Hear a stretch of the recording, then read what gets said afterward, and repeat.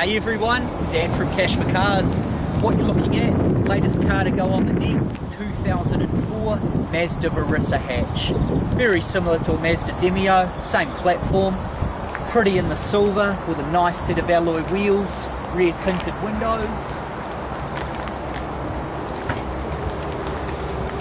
Plenty of space in there and the rear seats fold down too.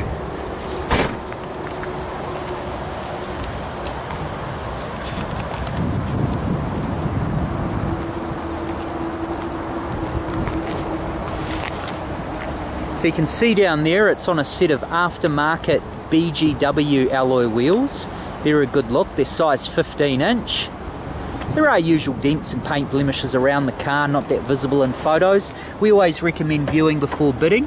Plenty of registration through to the 10th month 2016. So here we have your 1.5 litre Mazda engine good engines, chain driven, so no cam belts to worry about replacing. We've got one key for the car, central locking, and we go. Electric window controls and wing mirror controls. New warrant through till the third month 2017. Fresh engine service done, so that's not due till 165k.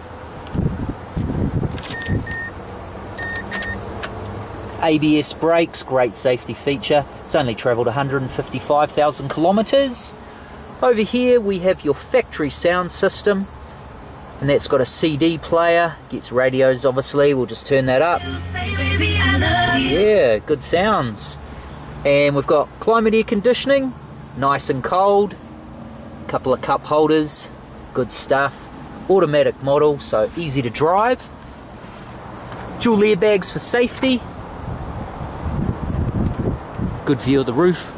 We'll just start her up so you can hear it running. Sounds like it should.